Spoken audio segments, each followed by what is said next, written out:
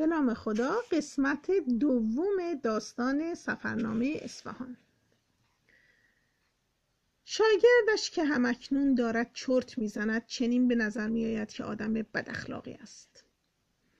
من از حالا دارم بوی اصفهان را میشنوم. تند و تند می نوشتم اکبر آقا هی روی دستم کله می کشید که ببیند چه می نویسم نتوانست طاقت بیاورد. بالاخره پرسید ببینم دایی چی داری می نویسی؟ نکنه داری برای بیبیت کاغذ می نویسی قصه نخور خودت زودتر از کاغذت بر کردی گفتم دارم هرچی می بینم می نویسم می‌خوام وقتی برگشتم کتابش کنم. کتاب رو هم تقدیم کردم به شما و بیبی. پوزخندی زد و گفت ای بابا دلت خوشه. کتاب بنویسی که چی بشه؟ برو دنبال یه تیکه نون دایی. زد تو ذوقم. اما از رو نرفتم. نوشتم و نوشتم تا هوا تاریک شد. و چشمهام خطا رو ندید. شب توی قهوه خانه ای بیتوته کردیم. زیر نور چراغ دستی قهوه چی سفرنامه را باز کردم و نوشتم.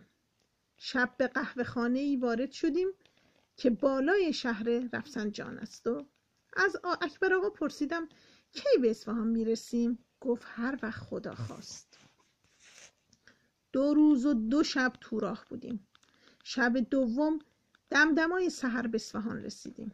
وارد اصفهان که شدیم دلم بنا کرد به پرپر زدن. می‌خواستم راه بیفتم و همان وقت همه جای اصفهان را ببینم و بگردم و سفرنامه را تمام کنم. اما از بخت بد هوا حسابی تاریک بود و از آن بدتر تعمیرگاهی که قرار بود کامیون ما را تعمیر کند بیرون شهر بود. از خیابانهای خلوت رد شدیم. تعمیرگاه بسته بود و ما همان پشت در ایستادیم تا صبح بشود.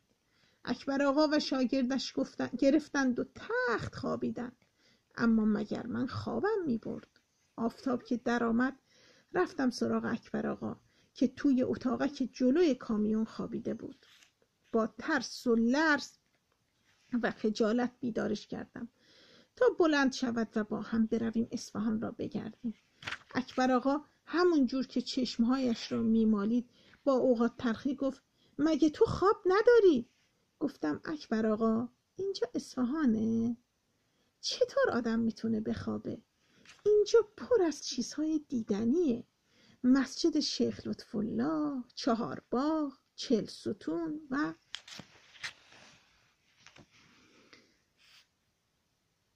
پرید میان حرفم که چه غلطی کردیم تو رو آوردیم؟ اگر از جا تکون خوردی نخوردی ها. میری گم میشی. اون وقت من باید جواب بیبیت رو بدم. اکبر آقا کامیونش رو برد توی تعمیرگاه و با اهالی تعمیرگاه سلام علیک کرد و بعد ناشتایی خوردیم.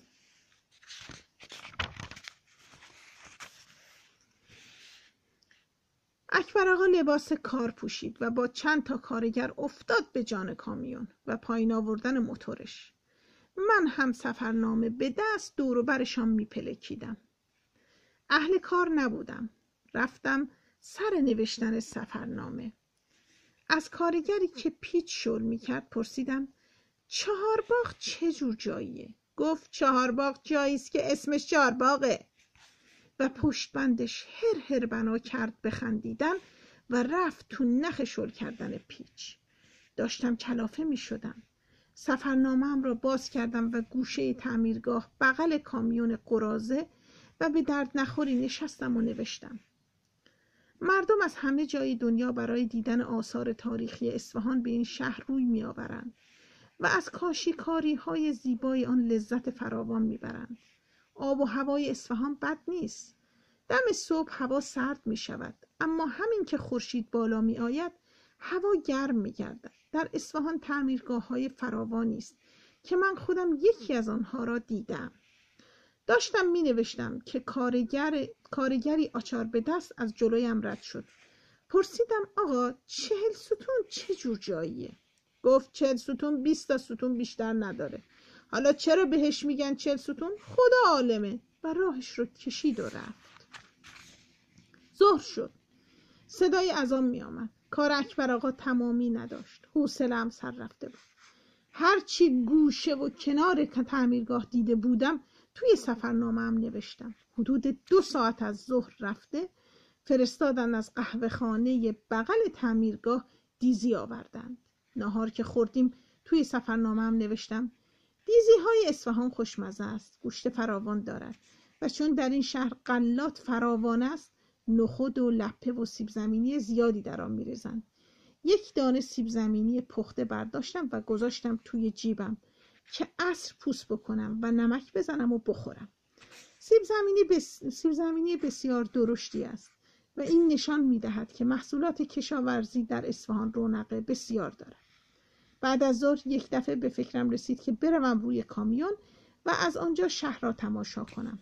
فکر خوبی بود. سفرنامه و کتاب جغرافیم را برداشتم و آهسته رفتم روی کامیون. اکبر آقا تو باربند اتاقک جلوی کامیون کامیون اکبر آقا توی تو باربند اتاقک جلوی کامیون نشستم و شهر را نگاه کردم و بنا کردم بنوشتم.